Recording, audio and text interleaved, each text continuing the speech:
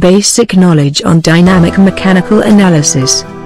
Here we'll discuss about different field of dynamic mechanical analysis, in which we discuss about the following, that is what is dynamic mechanical analysis? How does a dynamic mechanical analysis work? What does dynamic mechanical analysis measure? Applications of dynamic mechanical analysis.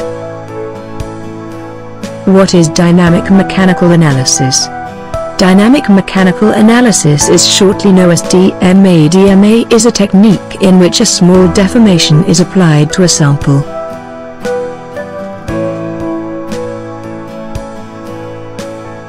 How does a dynamic mechanical analysis work? First to applying a sinusoidal deformation and then sample can be subjected by a controlled stress and sample will then deform a certain amount. Here force motor is used to generate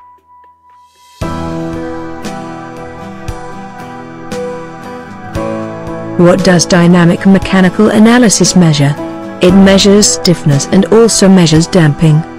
It also reported as modulus and expressed the modulus as an in-phase component. Measure of the sample's elastic behavior. And also measure of the energy dissipation of a material.